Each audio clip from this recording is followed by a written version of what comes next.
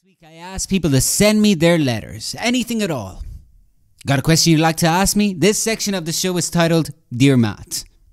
And I'm going to use a bit of background music for this segment as well. Ah, nothing like the sound of Exotica to get us in the mood for the Dear Matt segment. So, I actually received a letter.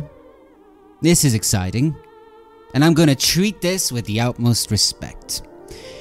Now, the writer of this email asked me to remain anonymous, so I will respect their wish because that's what we do at the art movement.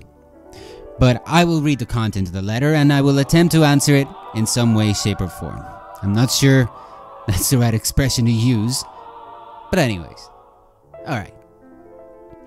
Dear Matt, I am in love with two boys and don't know which one to marry. First, there's Andy. He's sort of blonde and sells insurance. Mama likes him, which helps a lot. He's very reliable and seems anxious to get married. Then there's Tony. He's dark and sort of gives me the creeps, but they're awfully nice creeps, if you know what I mean. I don't know which one I like best. In the daytime, I like Andy, but I believe I like Tony better at night. Which one do you think would make the best husband for me? Andy or Tony? Well, Abby. Oh crap, I wasn't supposed to say the name, I apologize. It's out in the open now, but uh, I'm sorry. Anyways, here is my answer. This is a no brainer for me.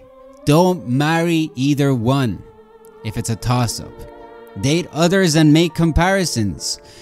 When the one comes along, you flip your lid not a coin.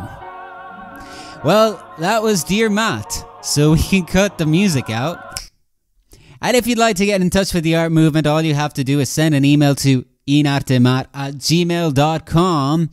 You can write anything and I will read it out, or send me a voice message of yourself reading a poem or just speaking your mind about an artwork or something that's happening in the world.